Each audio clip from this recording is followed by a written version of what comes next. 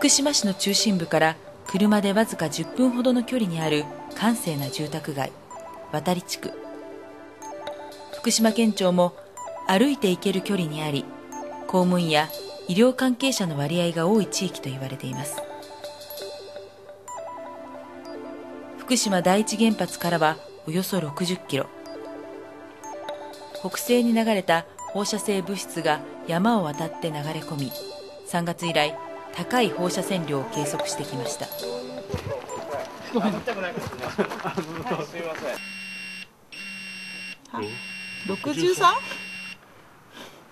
いやちょっとここで行けないのかなこのところ。ちょっと六十三はないでしょう。7月には除染モデル地区として自治会総動員で除染を行ったものの雨が降ると再び線量が上がる状況が続いています、うん、雨が降るたびに水が流れる、うん、してあとこの通り乾燥する、うん、また雨が降る水が流れる乾燥する。それの繰り返しで、ゴミとか土砂が集まってきて、でどんどんどんどん上がってくるというそういうふうな状態なんですね、民間団体などが9月に行った土壌調査によるとチェルノブイリの移住義務区域の基準である1平方メートルあたり555キロベクレルを超える汚染も計測されています。ここはもう3.0が普通だからね2.5とかねこう今見た通りね。だから子供さんとこだなんかは本当心配だよね。うちの孫なんて目にクマが出たよあそうなの？だよ。それであんた急遽あんたここにいてはダメだからっつってあっちの親が連れてったよ。いや行くとこある人はいいけどうちみたいどこにも行くとこない街を歩くと至る所で高い線量が計測されます。9.98、えー、いやいやいや。振り切れたってこと？そう。じゃないですか？9.98おかしいでしょ。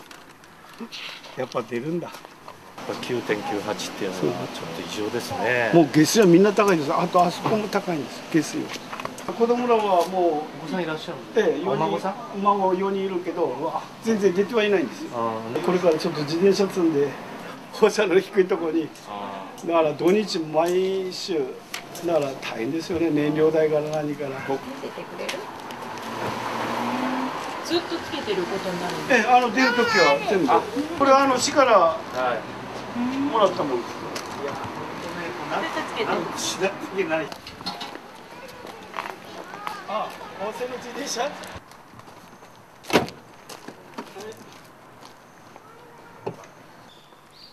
？10月8日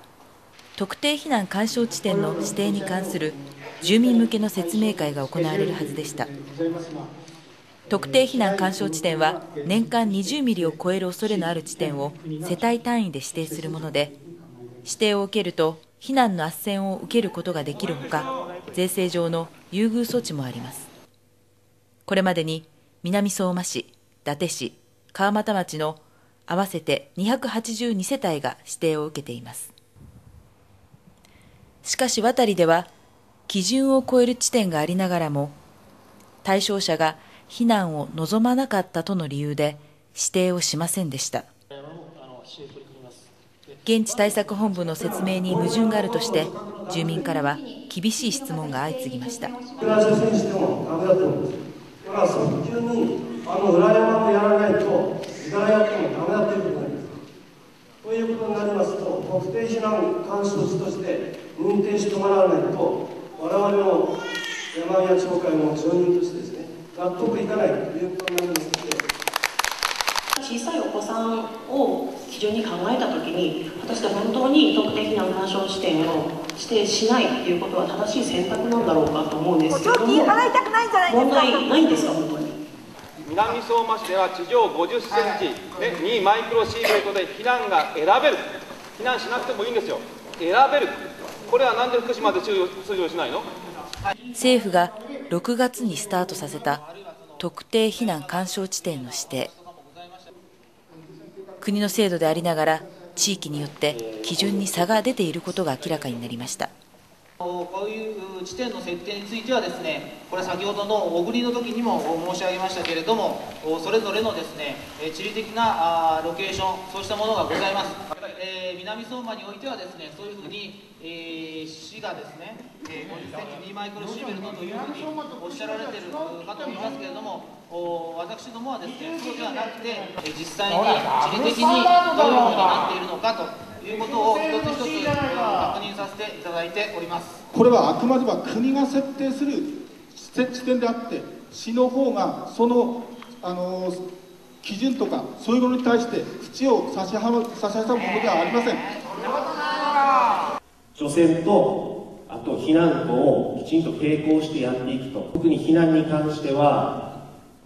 えー、今までの南相馬市であるとかそういったものを踏まえて50センチの高さで2.0マイクロシーベルトパーアワーであるとかそういったものをもう一度再考していただくようにお願いしていただいてですねそして、えー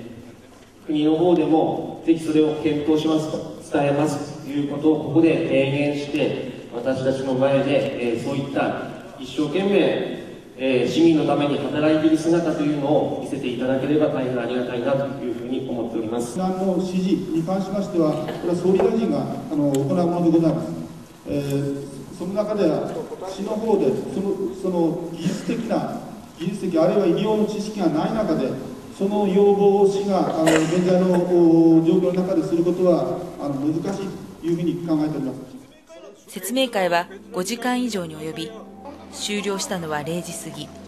しかし住民の要望は何一つ聞き入れられませんでした。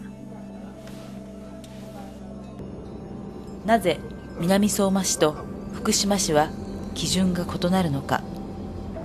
私たちは南相馬に向かいました。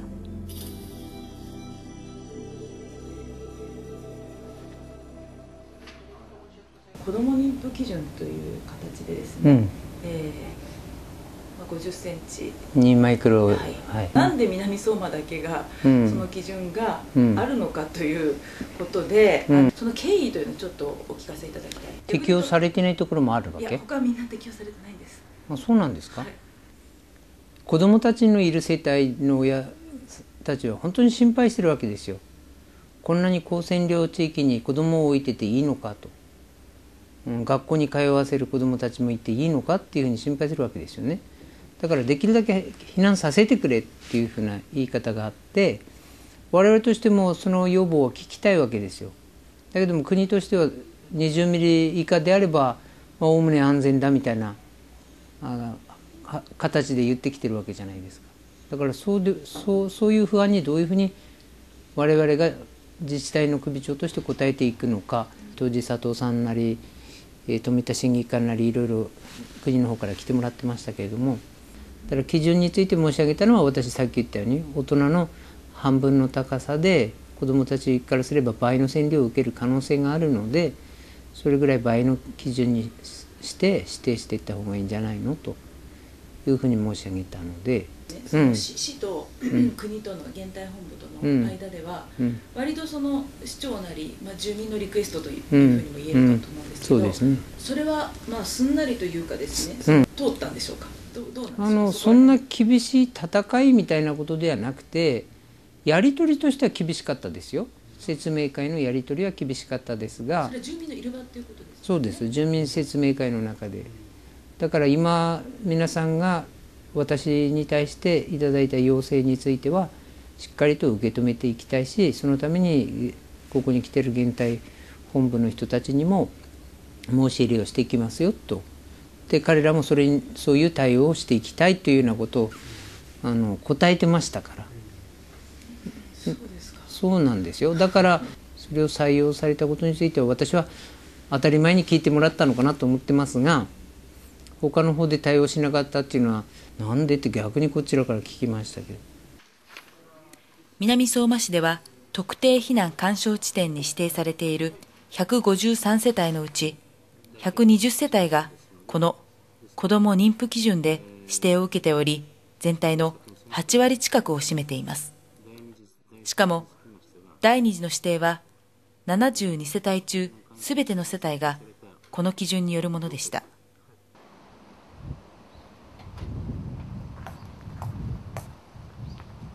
あ、こんにちは。当たり地区で暮らす阿部雄一さん。1歳半の娘がいます。安倍さんの自宅は政府の詳細調査で50センチの高さで毎時2マイクロシーベルトを超えました。もし南相馬であれば特定避難干渉地点に指定されているレベルです。安倍さんは3月以降窓を閉め切り洗濯物は屋外に干していませんごめんごめん4月のね20日に初めて測ったんですよ。庭とか家の中を絵画カウンター借りてきて、うんうんうん、その時に高いぞとうちが、うん、なんだこれはと。福島市の保健センターのあそこと違うじゃないかっていうことで、うん、で窓際にいたんじゃまずいと。線量高かったから、うん、で一番低いのがねここだったんですよね。このここで今寝てるんですけどちちびは、でそこにママが寝て全体をここに移動しておあの我々大人のいるところをそっち側にしたんですね、そうなんですね。だからここもね生活動線もなんもないんですよ。本当ですね。ちょっとこれは。どうぞ。ここ私寝てるところなんですけど。よいしょ。叩きまくるとこあるけど。ここに本当はあの川の字で寝てたんですねこういうふうに、うん、で4月の20日に測ったところ、うん。実はですね、うん、2階がものすごく高かったんです。我々は1階の方があの高いだろうと思って、うんうん、生活そのものを上に持ってこようとしてたんです、うん、その時、うんうん、ところが測ったら部屋の中で2あったんですよね。2.0マイクロシーベルトですか？パワーで。でここが本当は子供部屋でこが今も1日に20分ぐらいは連れてきて遊ばせるんですけどこの部屋は特に高いですね。ここは本当最初から驚きましたからね、いいんですかってことなんですよ。あのー、おかしいでしょ？